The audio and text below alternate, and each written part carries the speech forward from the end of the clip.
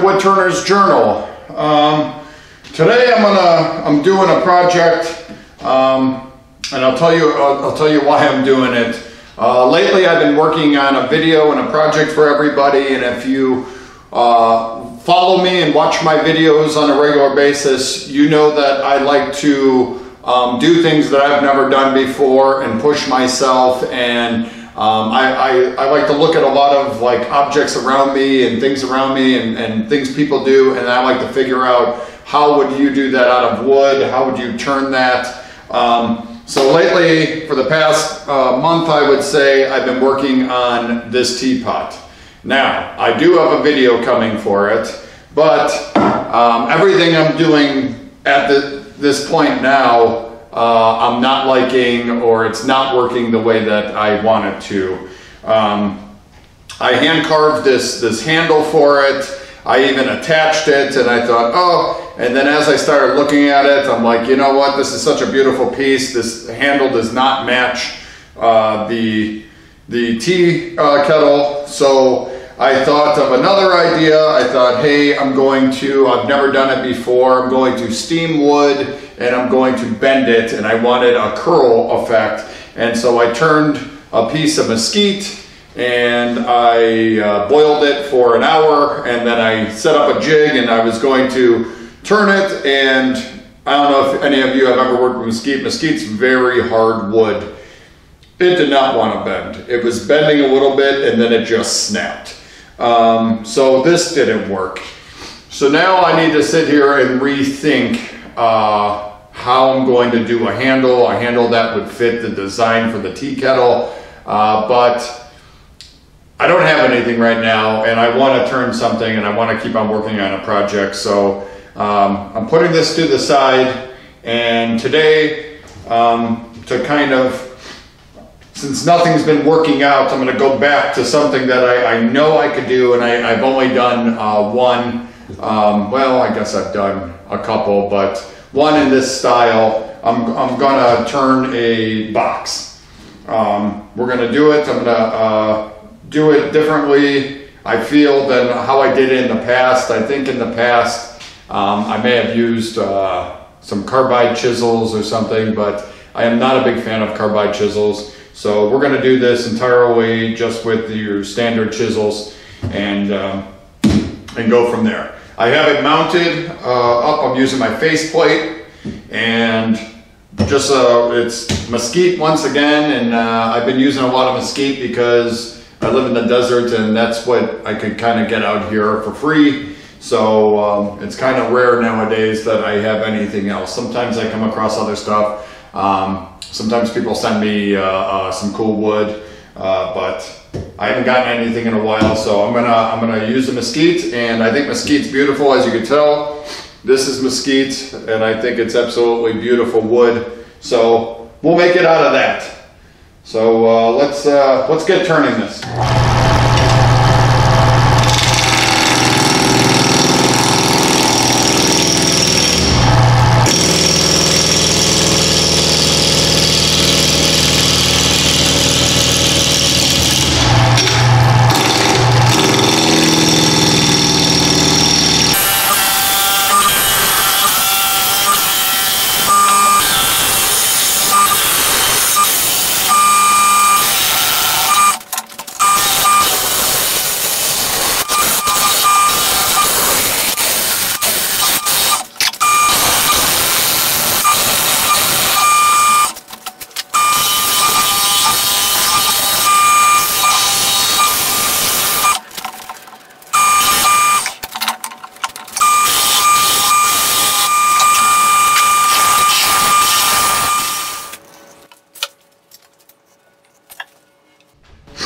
So I added a little bit of CA glue there uh, just because I see some cracks uh, in the wood and I want to make sure that they don't continue and, and uh, it kind of holds together. I'll probably have to do a little bit of filler which I, uh, on the mesquite, I've been using uh, coffee grounds, old coffee grounds that I dry out and it seems to blend and fill pretty nice. It looks like it's part of the wood. So we'll probably end up doing that. I'm gonna smooth this out a bit using my bowl scraper. Uh, and I'm not sure how I want to do this yet. Um, I think the, the pattern on this wood is beautiful. I don't even know if I want to uh, do any any kind of coves or beads or anything. I may make this a simple smooth box. Um, I think that is what I'm gonna do. Let me let me smooth this out and then I'll probably uh, uh, sand it and then uh, we'll hollow out this end. We'll have to make a lid.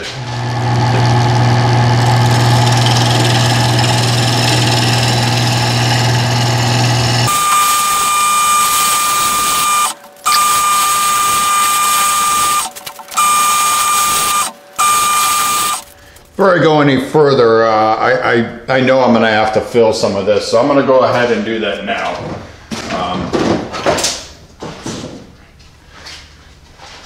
Basically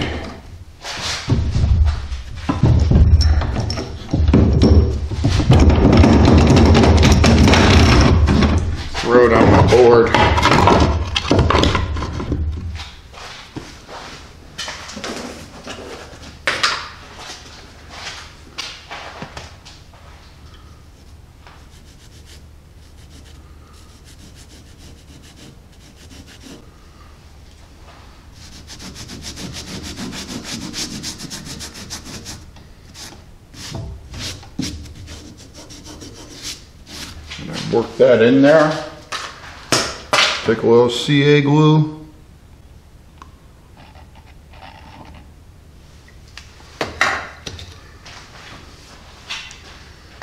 Let it soak in.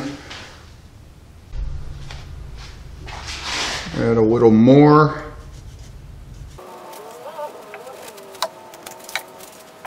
These ones right here, if you could see them, they may be okay.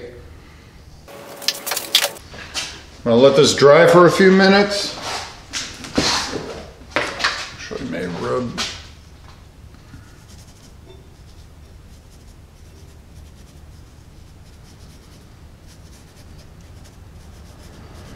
I'm going to take my sanding disc to it.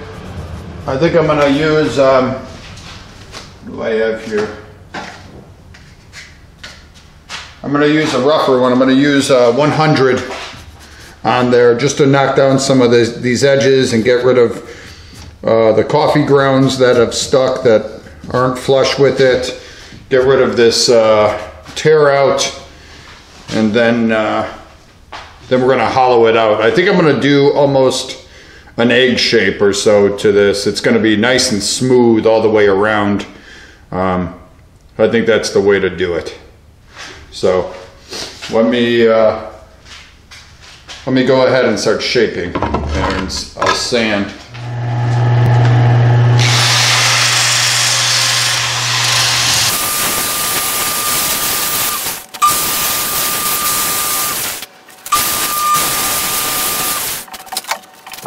All right, there's still just a little bit. I think I, uh, some of this tear out is so deep right here that uh, I may have to fill that as well. Um, but I may, I'm gonna start blending it. So rather than continue to sand, I just wanted to make sure I got all that crack filled. And uh, here's another little minor one. Uh, we'll see, but I'm gonna start blending right now and kind of making the cone that I want.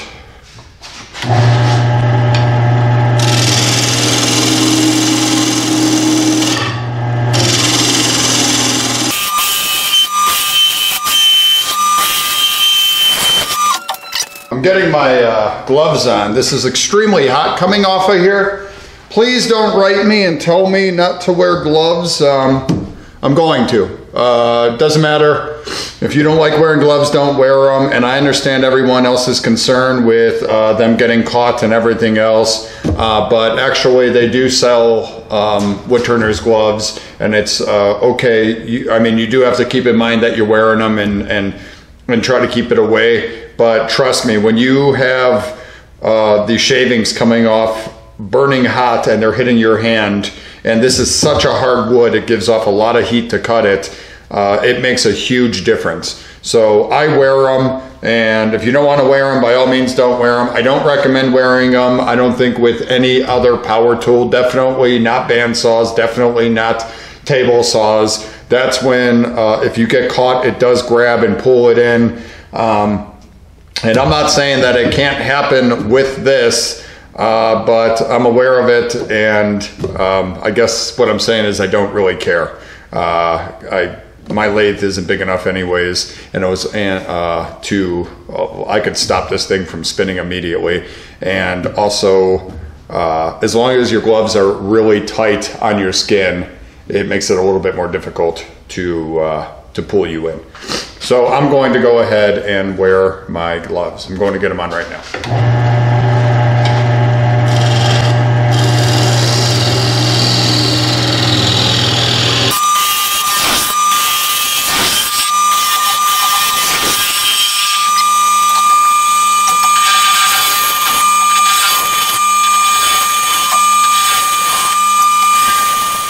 Okay, that's looking good. I'm going to um, fill some more cracks here. Um, just some deep uh, pockets it looks like. And then I'm gonna uh, switch, rather than continuing with the uh, 100, I'm gonna switch to 220 because uh, it is pretty smooth. Um, I got some fine cuts on there and I don't, I don't need such a high grit. So go ahead, fill that in really fast.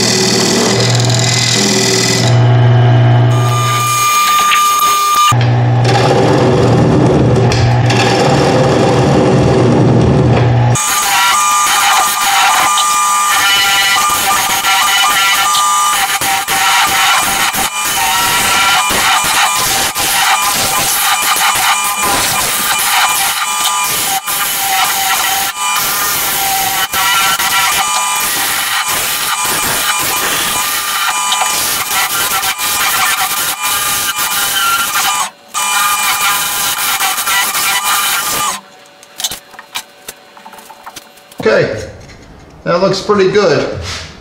I do have a minor crack here that I'm, I'm gonna need to fill the same way I've been filling it with the coffee.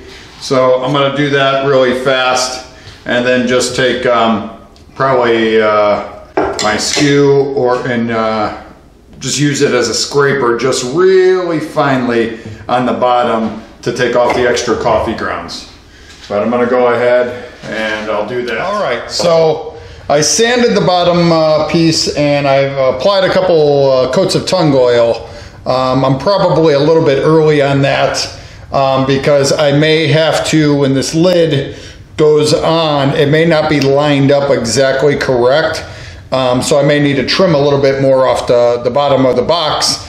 But uh, I'm pretty close and I just kind of wanted to start getting the tung oil uh, seeping into the grains so it's all right even if I have to take off a little bit, shave it down just so that the two of them match. Now, if you're watching at home, you're probably wondering, okay, well now how is he going to hollow out the lid part? And it's simple. Um, I'm going to kind of make a jam chuck uh, here and I'm going to use uh, hot glue and I don't really have to um, it's, it's not going to be that hard and aggressive of a cut to hollow this out. Um, but the, the key part is I'm taking this, this just a scrap piece of 4x4 that I have, um, nothing nice, and then I'm going to square this off and I'm going to basically make uh, angle to match this angle where it would sit kind of nice in there and then we'll hot glue it in and then from there we'll start hollowing it out. Uh, I'll probably put up my tail stock in the beginning and then, you know, just to make sure I'm squared up and, and then we'll, we'll go from there. So first things first, I want to square this, this piece up. I'm actually going to use, I'm going to use my, my bowl gouge.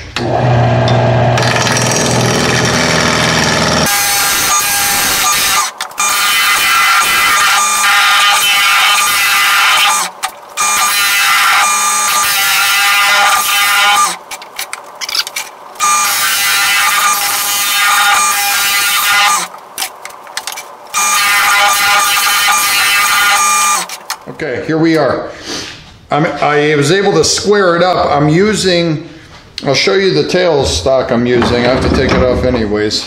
Um, and I'm, I'm using this guy that I have um, because it's flat right here and it will naturally square this thing up on this. Now, I need to kind of move quick. I have my hot glue gun ready and I want to put plenty of hot glue on this to make sure that it doesn't come out. The more hot glue, the better.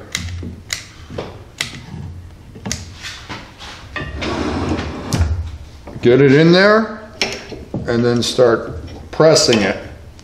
It's gonna square up on me.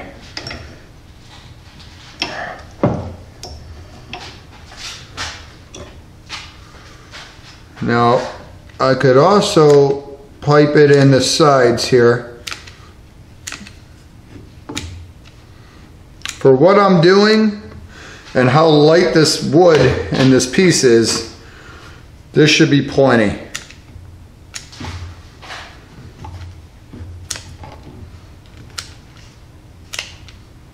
Just to be safe though, I will wear a face shield Give that a few minutes. It looks like we're nice and square though. Exactly where it should be.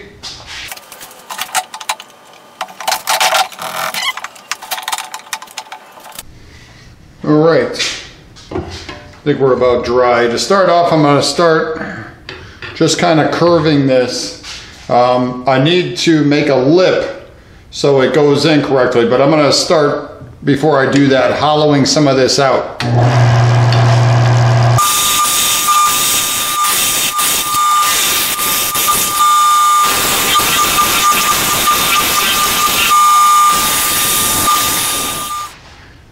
Want to get this closer to what this box is.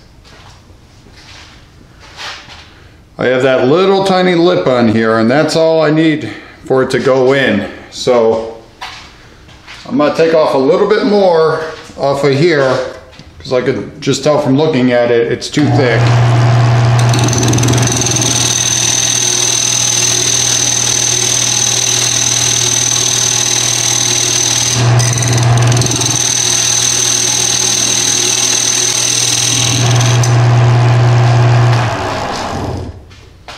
Let's try this.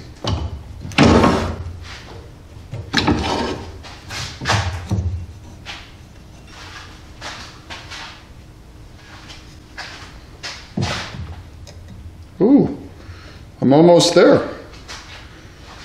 Literally just a hair more.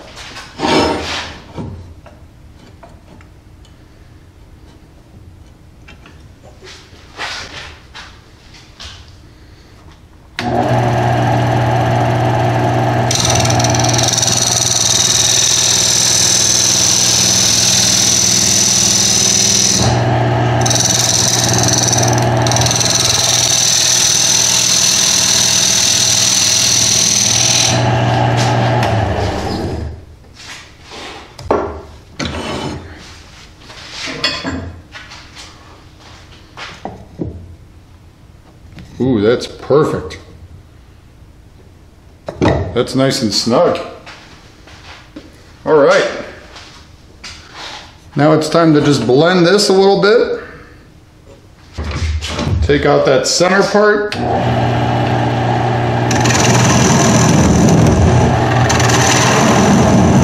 Nice and easy. I am not pushing.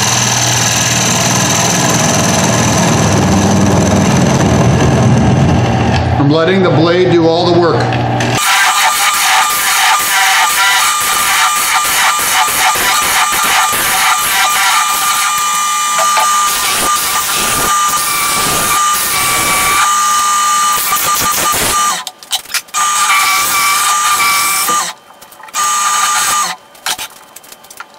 Yeah. That looks good.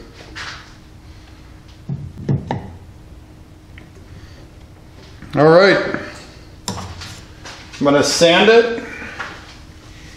I'm gonna sand the inside really fast and then tung oil it. And then, um,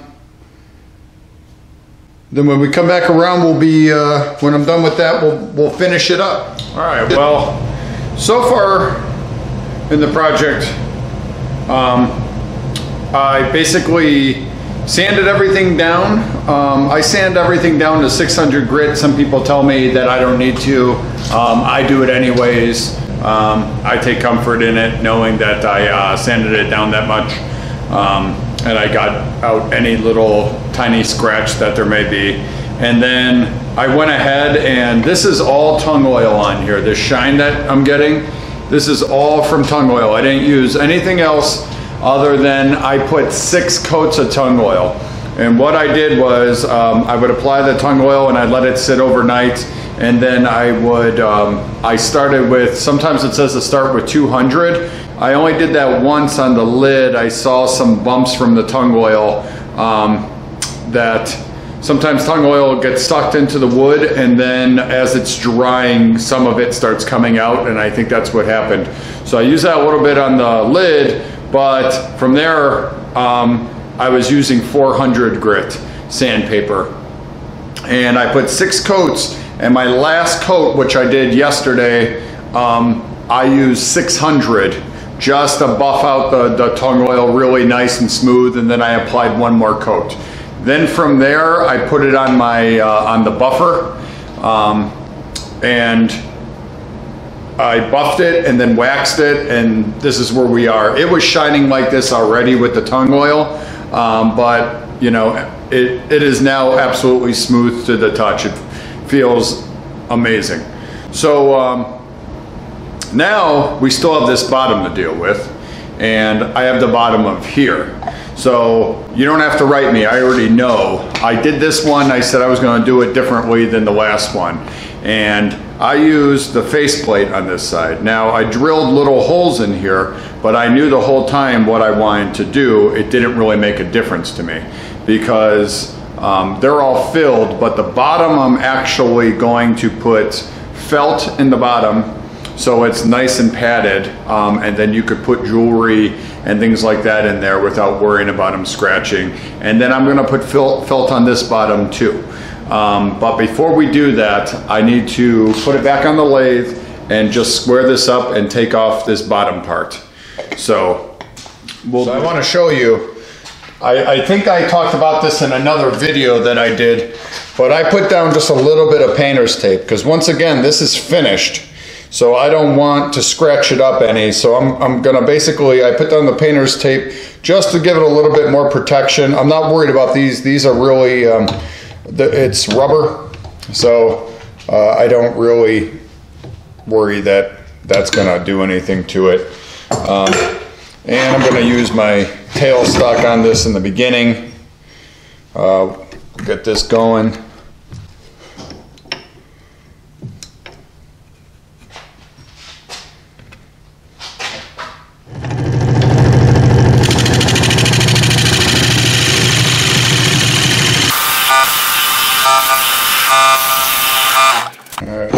Now I need to be careful. I'm going to take this out. And I have to be real gentle with this.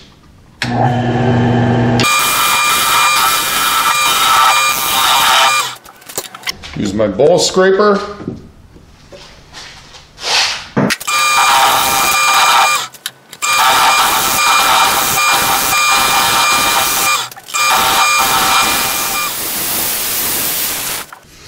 You have to be careful to keep this you know, you want to do the edge, but you don't want to roll over the edge.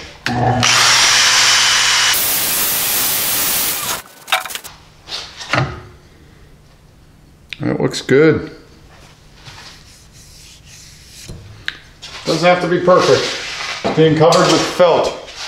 So I got this felt at a fabric store. You could you could buy it by the yard there, and I just cut off a little section. And I'm using this highlighter because I found it shows up on this. Now I want to cut this out as nicely as I can.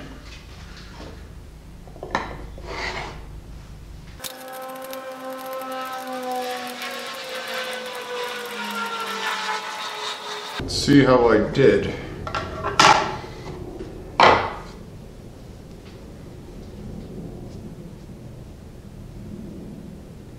Oh, that looks good. Did a good job on that. All right. Now it's time to glue it up. All right, I'm going to use five minute epoxy.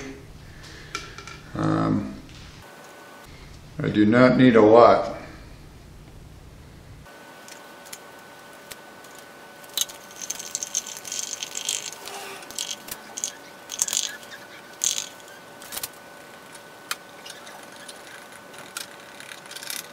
Come straight out with it.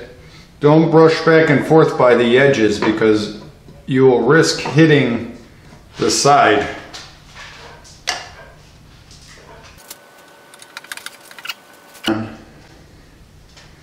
Just gonna hold it for a minute or so.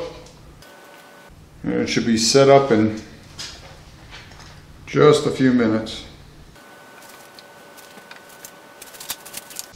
Just a little weight on it. I'll let it sit there just for five minutes or so and it'll be done and then we'll do the inside. All right, it's dry. Um, it's probably been drying for about an hour or so and it came out pretty good. I think it could be better. Um, there's just a little bit over and so because of that I went online, looked up a fabric circle cutter. I've never used one of these before um, but it uh, I went and ran to a fabric store, picked it up, and we'll see how it goes. I've already measured uh, the diameter of this, and then I figured out what it should be. Hopefully I'm correct. I kind of eyeballed it up to make sure that it was center as well. Let's see how this works. Tape down the piece of material.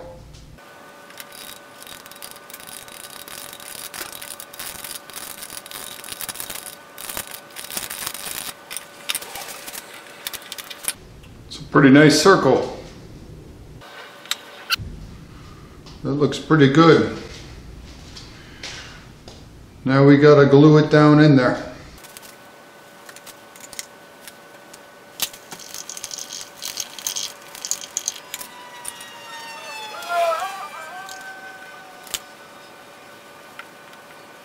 All right, I'm gonna let that dry.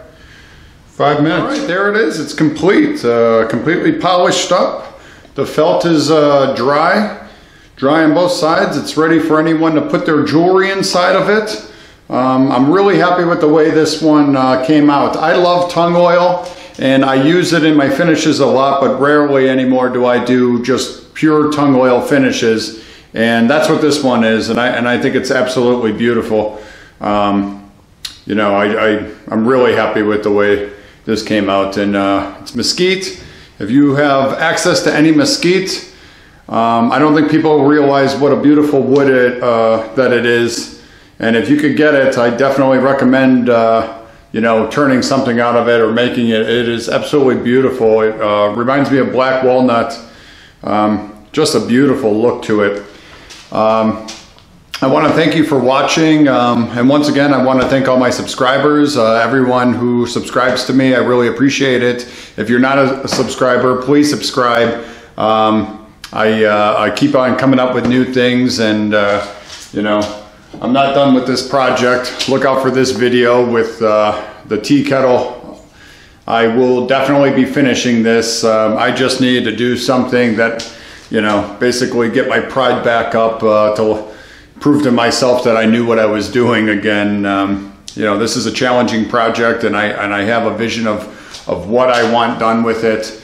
Um, but until I figure it out how to do it, um, you know, it, it's going to be a while. But hopefully, this is my video coming out pretty soon.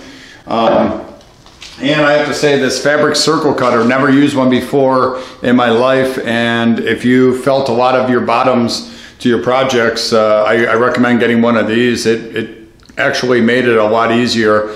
Um, definitely tape down the material. I tried to do it before without taping it down and it moves on you and you don't get such a fine cut. But this thing um, is, is definitely helps a ton. Um, I went and got it at a fabric store here in town. I think I overpaid for it, but I wanted it right now. Um, I'll put a link. I'll find one um, online, and I'll put a link uh, below uh, to make it easier for you if you uh, if you don't have to have it immediately. Um, but it, it's a great tool to have. Um, but I'm pretty sure I overpaid for it. Um, and uh, I just want to remind everybody that uh, it's definitely grown in size. Uh, the Facebook page, Wood Turners Journal Facebook page, it's a great group. Uh, we're over 400 some members uh, there that uh, all wood turners, people showing off their work, everyone helping each other, giving each other ideas. It's a great group. Um, I recommend it.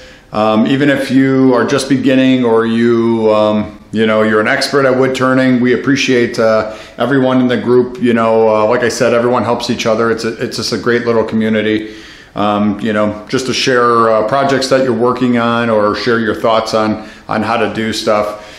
And um, and that's basically it. I, I, I just want to thank everyone for subscribing. If uh, you're not one of my subscribers you know uh, go ahead subscribe. I keep on coming up with uh, new ideas. And um, and I'm not done. I, I have a lot of uh, ideas. It's more I need time than uh, ideas because I have probably a thousand ideas of, of stuff I've never seen anyone else do that I want to do. Um, or things that I want to touch on. Um, you know, in my group, I, I, see people asking the same questions over, and so I try to make videos on touching on those type of things uh, that I think would help people. So um, you know, please subscribe. I appreciate it. I appreciate you watching. Thank you very much. Until next time.